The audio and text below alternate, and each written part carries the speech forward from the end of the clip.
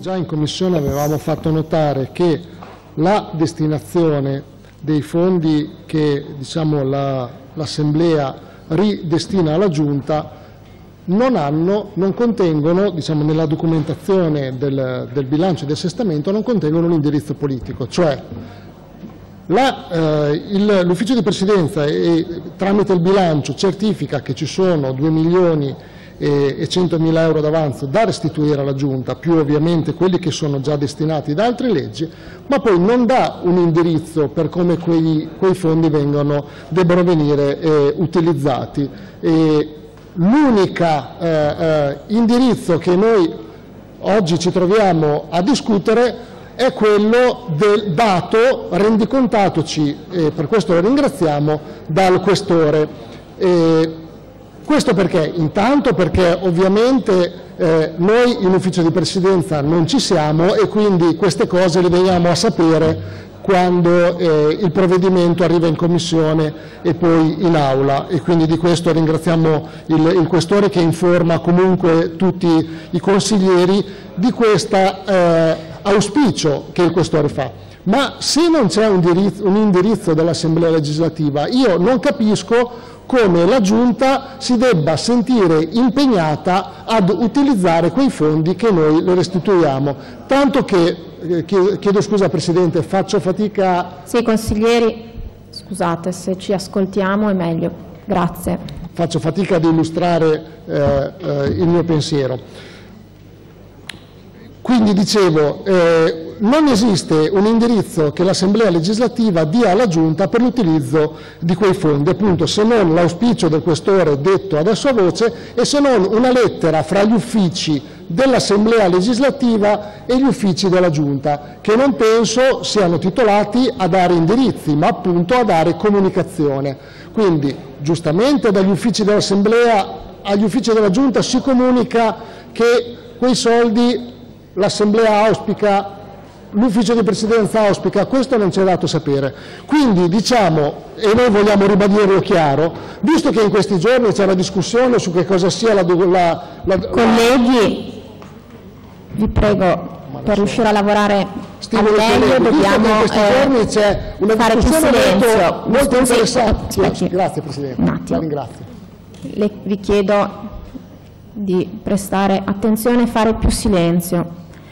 Consigliere può proseguire il suo Sì, intervento. visto che in questi giorni c'è una, anzi oggi, una discussione molto interessante su che cosa sia la, de- la democrazia rappresentativa, quali siano i suoi limiti e quali possono essere i suoi sviluppi, a me sembra che un'assemblea che ha il compito di dare degli indirizzi all'esecutivo, un'assemblea che si esime di, da- di dare degli indirizzi, indebolisca l'istituto della democrazia rappresentativa.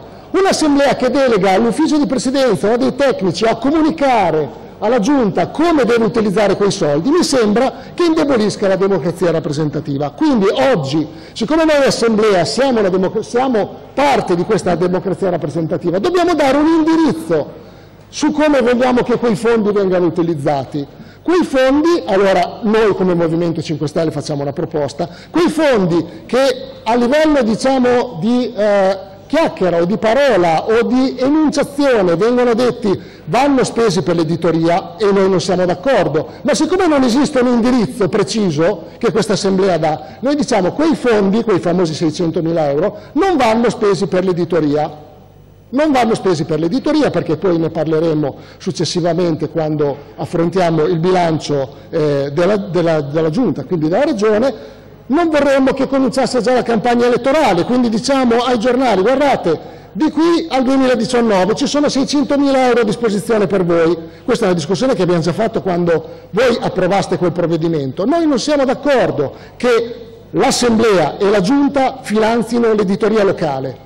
Perché, soprattutto adesso che non capiamo quando, quando inizierà questa campagna elettorale di questa regione, questo non venga interpretato, non venga interpretato come un ingraziarsi qualcuno. Quindi noi diciamo l'indirizzo di questa assemblea, se voi volete rafforzare la partecipazione dei cittadini, perché qualcuno dice ma noi finanziamo l'editoria perché con un'informazione più potente i cittadini sono informati. Bene, noi se vogliamo far aumentare la partecipazione dei cittadini alle prossime elezioni, noi pensiamo che quei soldi vadano investiti in, parte, in partecipazione. Siccome di qui a settembre abbiamo una legge, la legge sulla partecipazione, che sarà discussa e andrà a riformare la precedente legge sulla partecipazione, allora noi diciamo quei 600 mila euro come assemblea legislativa, perché noi vogliamo far aumentare la partecipazione, vogliamo rafforzare la democrazia, che sia rappresentativa, quello che sia, allora noi quei 600 mila euro li investiamo sulla partecipazione e non sull'editoria.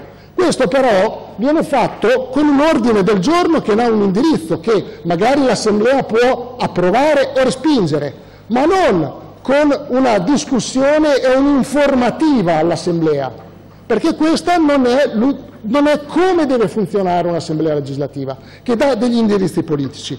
L'altro aspetto che rilevo è questo. All'interno dei fondi che noi restituiamo alla Giunta ci sono circa 350 mila euro che assieme ai 200 mila euro che l'Assemblea ha già restituito sono i risparmi che derivano dall'applicazione della legge sui vitalizi legge sui vitalizi sui quali poi tornerò quando eh, parleremo della, eh, del collegato all'assestamento, perché quando discutemmo la legge sui vitalizi all'interno c'era un articolo che diceva che i risparmi venivano destinati alla, alla, dall'Assemblea legislativa alla Giunta e venivano destinati a sicurezza, legalità, qualità del lavoro, sostegno del microcredito, sviluppo dell'imprenditorialità, reinserimento lavorativo e inclusione sociale, che sono quello sono gli obiettivi che erano scritti nell'ordine del giorno che noi facciamo approvare quando ci fu la legge numero 1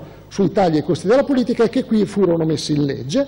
E poi si dice la Giunta e l'Assemblea legislativa concordano le modalità e i criteri di destinazione delle risorse. Anche qui l'Assemblea legislativa oggi non, ad, non adempie al suo compito, perché non dà gli indirizzi e restituiamo alla Giunta dei soldi che deciderà da sola come spendere. Allora, a me sembra che noi stiamo delegando all'esecutivo come l'abbiamo delegato o si è delegato da solo a dare a noi gli indirizzi politici, come sull'autonomia, che è un tema che è bene che stiamo discutendo, l'esecutivo ha dato a noi gli indirizzi per dire parliamo di autonomia, noi anche oggi ci arrendiamo e diciamo questi sono i soldi, fate un po' quello che volete. Ecco, io penso che l'Assemblea legislativa, se vuole difendere l'istituzione della democrazia rappresentativa, oggi debba dire qualcosa. Invece questi atti passano nel generale silenzio e disinteresse dei gruppi. Torno velocemente ai vitalizi per dire bene che destinammo quei risparmi, ricordatevi che quando discutemmo la legge sui vitalizi non ci fu permesso di eh, portare avanti quello che noi ritenevamo corretto, cioè il sistema contributivo, ma si optò, si optò per un contributo di solidarietà più assieme ad altri istituti che erano quelli che noi portavamo avanti, cioè l'innalzamento dell'età come pure il divieto di cumulo. Bene, oggi vi informo che siccome per questa assemblea legislativa, quando noi discutemmo quel provvedimento, il riferimento era la Camera dei Deputati, vi informo che la Camera dei Deputati quello che era impossibile è stato fatto, quindi esiste una delibera che ricalcola col metodo contributivo i vitalizi. Quindi vi informo già da adesso che poi io depositerò, anzi forse l'ho già depositato, non mi ricordo, fra tutte le scartoffie che abbiamo, un emendamento in cui diciamo che anche la nostra legge sui vitalizi può essere finalmente uniformata a quello che prima era ritenuto impossibile e non esisteva, quindi al ricalcolo contributivo dei vitalizi, così che i risparmi che finalmente giustamente oggi andiamo a quantificare aumentare in più di 500 mila euro in un anno possano aumentare per andare a chiudere quella partita di modo che non ci potrete più dare dei populisti su questo argomento. Grazie.